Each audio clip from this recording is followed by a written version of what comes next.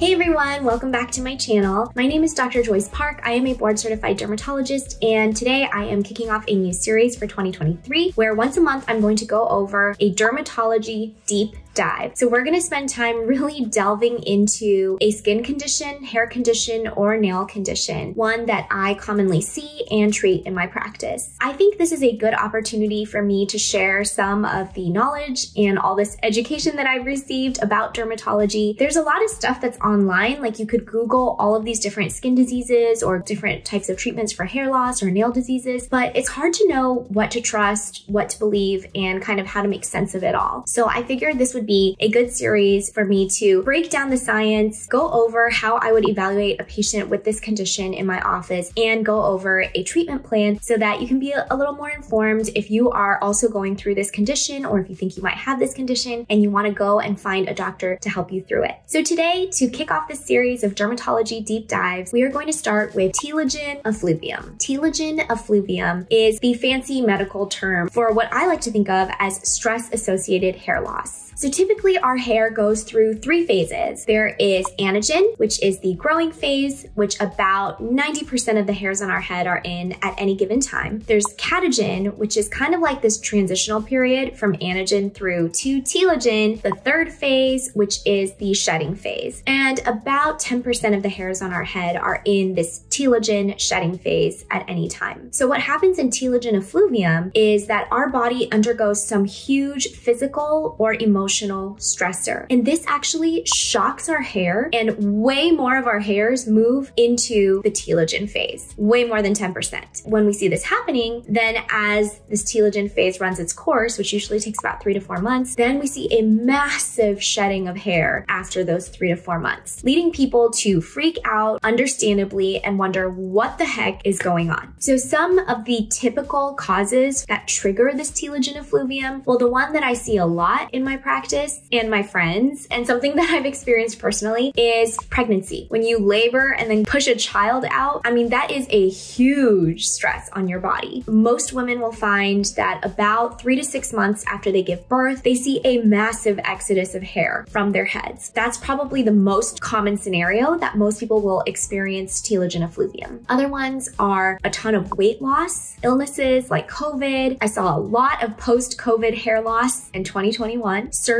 And then there's also emotional stressors. So I have had patients who have gone through just big changes in their lives, anything you can think of, death of a loved one, divorce, cross country move, losing a job, all of those types of things that can really cause stress to you emotionally can also trigger telogen effluvium. Other than physical or emotional stress, there's a couple other things that can trigger telogen effluvium. One is actually medications. So there are some medications, some of which are very common and that we use a lot that can actually rarely cause telogen effluvium. And those include retinoids, calcium channel blockers, NSAIDs, like even ibuprofen, and even certain types of antidepressants, just to name a few. Malnutrition can also cause hair loss because you do need a good healthy diet in order to grow your hair and have it be very healthy and strong. So in areas where we see a lot of malnutrition or in patients who are suffering from anorexia or bulimia, we do tend to also see telogen effluvium and hair loss. So there is some good news here. Telogen effluvium is typically a temporary condition. So this is self-limited after all of the hairs that have been shocked into the telogen phase after they fall out, then the new hairs will grow in and then the cycle resets. The new hairs will then go in their typical pattern of the anagen, the catagen, and the telogen. So even if you do experience telogen effluvium, know that the great, great vast majority of patients with telogen effluvium will see regrowth of all of their hair back to their normal normal baseline. So you don't have to worry that this is going to be a permanent condition. Now, of course, in some patients, telogen effluvium can actually unmask another type of hair loss. So I have seen rarely a few patients in which telogen effluvium actually kick-started and increased their androgenetic alopecia. So maybe they had the risk for female or male pattern baldness all along, but this telogen effluvium and massive shedding of hair kind of accelerated that process. So when patients come in to see me, if I suspect telogen effluvium, exam, I'll typically start off by asking them about stressors in their lives. And then I will totally sound like a Sherlock Holmes when I'll ask them, did a significant physical or emotional stress occur to you about three to six months ago? And then usually they'll say, why, yes, yes, how did you know? And then I totally feel like a detective. But that's the first thing that I look for is the history. I also ask about diet and other conditions like anemia, thyroid disease. Then I will do an exam. So I will look through the patient's head, their scalp, their hair. I can sometimes do a pull test, which is where I gently tug on a few hairs to see how easily they come out. Usually I don't even need to be pulling hairs out because as I just look through the scalp, hairs will be shedding left and right. That's how massive the shedding is in telogen effluvium. I sometimes will look at the hair under a microscope. So telogen effluviums are what are called club hairs, like the ends of those telogen effluvium hairs look like clubs because those hairs are being shed, they're being pushed out of the hair roots and being supplanted by a new hair. So sometimes I'll do that, although most of the time it's very obvious from the history what is going on. Now, there are tons of different types of hair loss. And if you're interested, I can make more YouTube videos in the future going into all the different types and buckets of hair loss. But one important thing I like to do is rule out other types of hair loss. So telogen effluvium is kind of like a diffuse, all over the head kind of hair loss, whereas other conditions, for example, autoimmune alopecia areata, that presents more as like little distinct round patches of baldness. That is not what you see in telogen effluvium. Or there are other hair loss conditions like lichen planopilaris, which has a lot of redness in the scalp. There's lupus associated hair loss called discoid lupus. That can look different on the scalp. There's also, of course, androgenetic alopecia, female or male pattern balding, where we look for hair loss in specific areas of the scalp. So for women, that's more midline, widening of the part. For men, that's like a bald spot right at the crown of their head. So I'm also looking to rule out other causes of hair loss that can be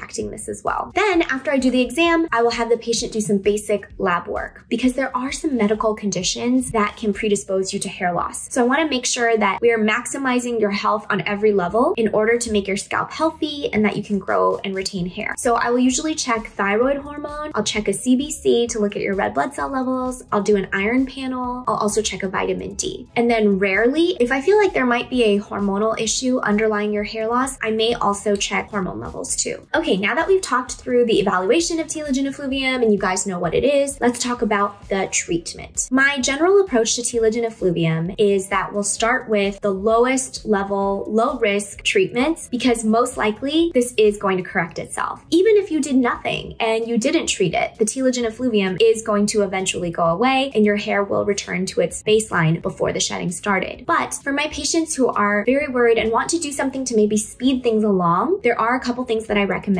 One thing I always recommend is topical minoxidil, or you might have heard of it, the brand name, which is called Rogaine. So minoxidil works in a way that we actually are not completely sure how it works for hair loss, which is crazy to me, I know. But the thought is that it's a vasodilator, meaning it increases the width of your blood vessels so that you get more blood flow to your scalp. And the thought is also that it increases the size of your hair follicles and lengthens that growing phase of your hair. Now, Rogaine comes in two forms. There's the men's form and the women's form. Pro tip here, always buy the men's form because the pink tax is real. People charge more just to put the word women's on it and put it in a pink box. So you're not gonna fall for that because you've watched this video and you're gonna always buy the Rogaine 5% men's solution or foam. And yes, it is totally appropriate for women to use. This will save you some money. So the solution can be a little bit more irritating, but it might be easier for you to get into your scalp. The foam may be a little less irritating. It may take a little bit more time for you to get in the scalp. It's kind of a personal preference as to which one you like and which one you want to buy. I am told that the cheapest version of minoxidil is available on Amazon. Okay, let's move on to supplements. So for telogen effluvium, you don't have to take supplements, but if you want to just do everything that you can, there's a bunch of different brands out there like Nutrafol, Vegamour, Viviscal, and now it feels like there's hair loss gummies everywhere. They're flooding the market. But, and this is a big but, it really depends on the formulation and the percentages of the ingredients that they're putting inside of it. I want to dispel a myth about biotin for hair loss right here. You've probably heard that biotin helps with everything for hair loss is a magical pill. No, it simply is not true. The PR agency for biotin has really been doing a very good job because it's actually a myth. There's no science to support that biotin by itself can magically grow back your hair because it doesn't. In fact, biotin can do some pretty horrible things, meaning it can mess with your thyroid levels and it can also mess with the markers of a heart attack. So if you went went into the ER and you thought you might be having a heart attack, that marker that we draw to see if you're having a heart attack, it might come back false because you're on biotin. However, biotin in conjunction with all of these other things like vitamin A and saw palmetto, which has natural anti-androgenic properties, horsetail, all of that can be helpful. So the one supplement that I have been recommending to all my patients for years is actually one by Foundation Skincare. This was founded by a dermatologist. I have no conflict of interest. I've never met the guy. I just like his products and I like that I can save my patients money because Nutrafol is expensive and you have to take four capsules a day. Viviscal is also expensive. And I'm gonna share a little chart here that actually compares the ingredients in Nutrafol, Viviscal, and Untangled supplements. And you'll see that Untangled has a lot of the same supplements, a lot of the same vitamins that you would want, and you only have to take it twice a day and it's more affordable. So I've been recommending this supplement. Again, no financial conflict of interest. I don't work with the company, but I really like saving my patients money. During this time, as you're waiting for your hair to grow back, I know it's very stressful, but it's very important to remove any stressors in your life. You wanna really dig deep, think about what might be causing you stress and just take it out because that is likely contributing to your hair loss. You also wanna practice really healthy hair habits. Don't use heat styling tools. Make sure to use heat protectant if you are going to. Minimize UV exposure on your hair, those types of things. I will actually link here to a video that I made about how to protect your hair from all of the aggressors in the environment and how to keep your hair healthy and strong. There are also procedures that we can do for hair loss like platelet-rich plasma, but that has been more extensively studied for female and male pattern baldness, androgenetic alopecia. There isn't as much evidence of using it for telogen effluvium, probably because it is super expensive. You need many sessions and telogen effluvium is self-limited anyways. So all it's really doing is speeding up your hair growth process, but your hair will grow back over time anyway. So I hope you enjoyed this video, my very first dermatology deep dive on telogen effluvium or stress-associated hair loss. I would love to know what other topics you'd like me to do deep dives on in the upcoming weeks. I've thought about it and I've thought about rosacea, melasma, eczema. I'm sure there's a ton of conditions out there, but I wanna know what you wanna hear about. So please leave a comment below. Let me know what I should talk about in my next dermatology deep dive. And again, thank you for watching. I'll see you guys next time.